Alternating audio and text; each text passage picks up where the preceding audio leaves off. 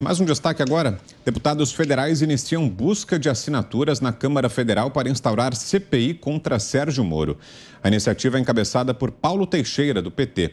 O motivo seria a realização de trabalhos irregulares na iniciativa privada.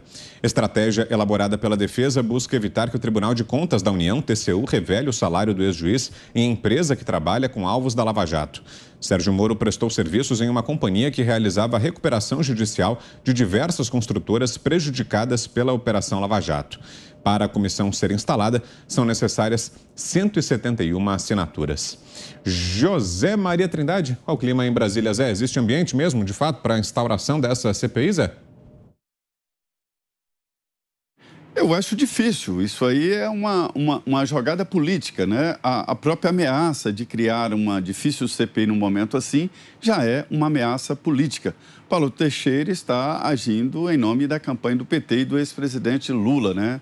O Vitor, que muita gente é, comenta aqui é sobre a estratégia. Geralmente, os embates, as disputas é, estão entre o primeiro e o que está logo atrás. Essa é a disputa. O que está logo atrás ataca o primeiro e o primeiro ataca o que está logo atrás. O Sérgio Moro está em terceiro lugar. Quando Lula chama Sérgio Moro para o centro deste ringue, está favorecendo a posição de Sérgio Moro, ou seja, criando ali é, é, uma linha para Sérgio Moro crescer na, nas pesquisas e nas intenções de voto. Esta é, esse é o debate político por aqui. Essa CPI é, não, não deve sair do papel. É, Paulo Teixeira não vai conseguir o número de assinaturas, mas se ele conseguir instalar essa CPI, não vai funcionar. Trata-se de um ano eleitoral, portanto, é uma jogada política. Sobre o mérito, o debate, é, o contrato de Sérgio Moro, é, que ele fez com a empresa, é, foi muito importante, porque houve no próprio contrato a definição de que Sérgio Moro não atuaria quando o assunto da consultoria fosse empresas que participaram, foram investigadas pela Lava Jato. Né?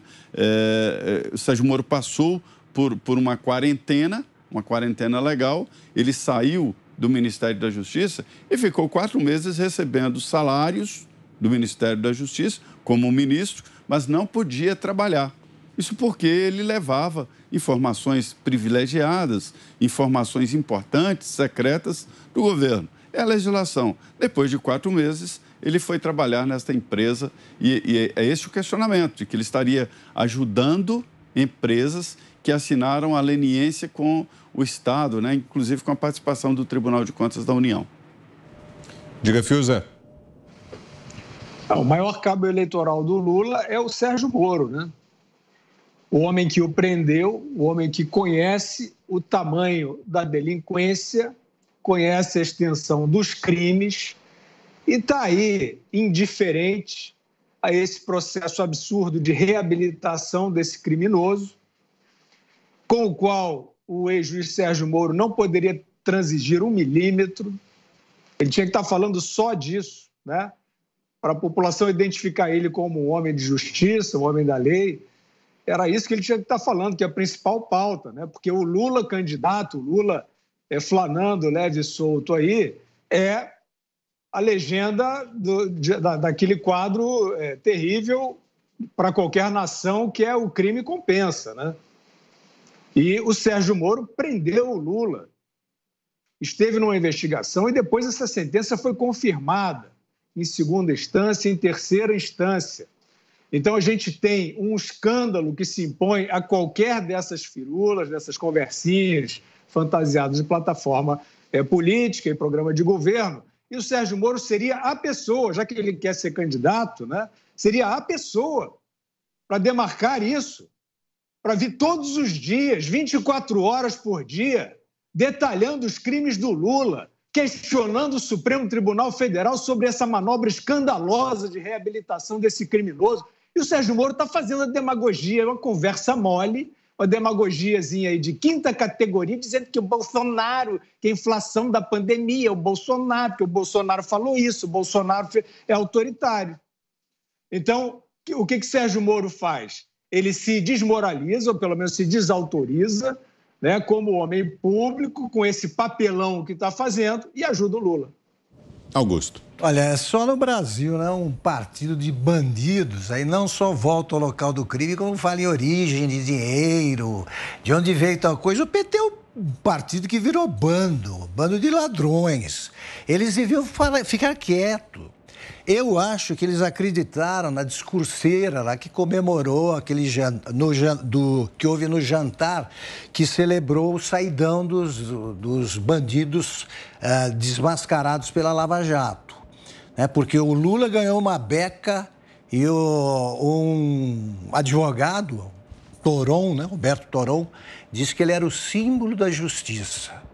Esse, como é que é, Paulo... Teixeira, né? Teixeira deve ter acreditado nisso. Depois aparece o Antônio Cláudio Bariz de Oliveira com aquela frase que encerrou prematuramente o concurso instituído aí para escolher a frase mais cafajeste da década. Está encerrado, já disse em dezembro de 2021 que é, não tem que punir mais, o crime já aconteceu.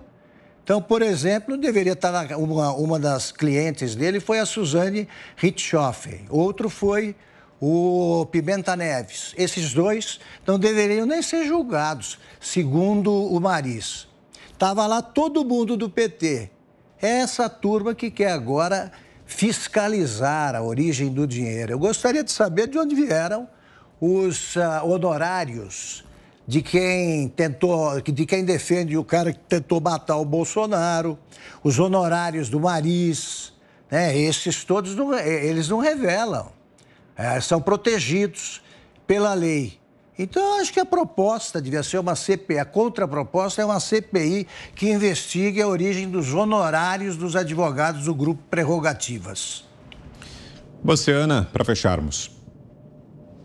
É, o Fiuso tocou num ponto importantíssimo, né? Que a, a, gente não vê o Sérgio Moro falando a reabilitação de um dos políticos, se não o político mais corrupto da nossa história. E o que a gente vê é Sérgio Moro falando sobre ah, o capitalismo, blá blá blá, o meio ambiente, ah, né, aquela retórica ali, a democracia, temos que salvar a democracia essa retórica aí de rede social e, de, e da bolha né, do Sérgio Moro. O silêncio do Sérgio Moro incomoda bastante, incomodou, incomoda bastante em relação às inconstitucionalidades aí do STF, mas agora eu estou achando interessante muita gente que apoiou a CPI da Covid, que, a, que ficou em absoluto silêncio quando viu mulheres ali como a doutora Mayra, como a doutora Nise Yamaguchi, sendo desrespeitadas de uma maneira assim histórica, e o silêncio continuou né, dessa turma que agora está dizendo que é absurdo uma CPI para investigar o Moro. E aí a gente traz né, que a história sempre mostra que quem, quem tem essa ânsia jacobina aí né, no DNA e que opera como os jacobinos da internet, uma hora a guilhotina volta para você. Não tem jeito.